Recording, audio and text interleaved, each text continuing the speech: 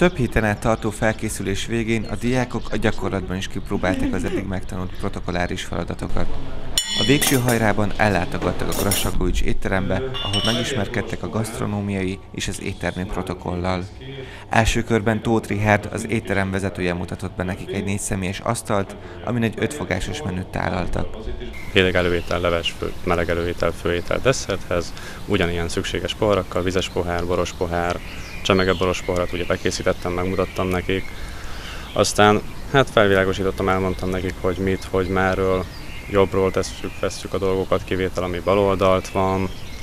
Ugye érdeklődtek ugye a felszolgálási módokról is, azt is elmondtam nekik mind a négyet, hogy az angol, francia, svájci, orosz, ugye hát manapság nem nagyon alkalmazzák, mondtam nekik, hogy mi a svájcit vagy a franciát szoktuk, ott elmondtam, hogy fővendég, ki a fővendég általában, mit, hogy bor felszolgálásánál ugyanúgy a fővendégnek kóstolót töltünk, utána protokoll szerint nemnek, kornak megfelelően kitöltjük a borokat.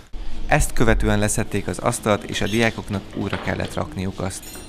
A protokollhoz szorosan hozzátartozik, hogy miként kell viselkedni egy étteremben, jó, ha szakemberek tudják a pontos szabályokat. A pénteki verseny már a negyedik alkalom lesz, ahol elindulnak a bajzások. Mint nevében is benne van, ezt elsősorban főiskolán és egyetemen tanuló hallgatóknak írják ki.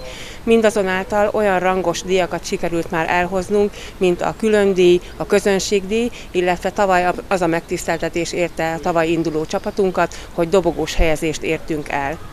A felkészülés a csapatok tagjainak már szeptember hónaptól elkezdődik, heti rendszerességgel találkoznak felkészítő kollégámmal, Fekete Gábor úrral, aki a protokoll szabályaira, viselkedéskultúrára tanítja többek közt a nebulókat. Vozák Lolita szerint különösen fontos, hogy a mindennapi életben is tisztában legyünk az illemszabályokkal. Azért jelentkeztem, hogy minél több információval bővítsem a meglévő tudásomat, és úgy érzem, hogy a csapattagjai is azon az állásponton vannak, hogy a protokollból olyan ismereteket fogunk meríteni, ami az alaptudásunkhoz szükséges, az emberi alapműveltséghez is hozzátartozik mivel a protokoll nagyon sok területet érint. Gondolok itt a viselkedés kultúrára, a kommunikációra, a gasztronómiára, és ezek mind nagyon érdekesek, és nagyon jó, hogyha az ember tudja, hogy hogyan viselkedjen, hogyan kommunikáljon, vagy éppen hogyan jelenjen meg egy-egy ünnepségen rendezvényen. A felkészülés során a gasztronómia mellett a rendezvényszervezést is megtanulták a fiatalok. Már évele óta készülünk a versenyre, és az idei verseny témája a diplomáciai protokoll, így ezeknek az alapfogalmait tanultuk meg. Heti rendszerességgel volt óránk. Az országos versenyt május 5-én rendezik meg Budapesten, a Stefánia palotában.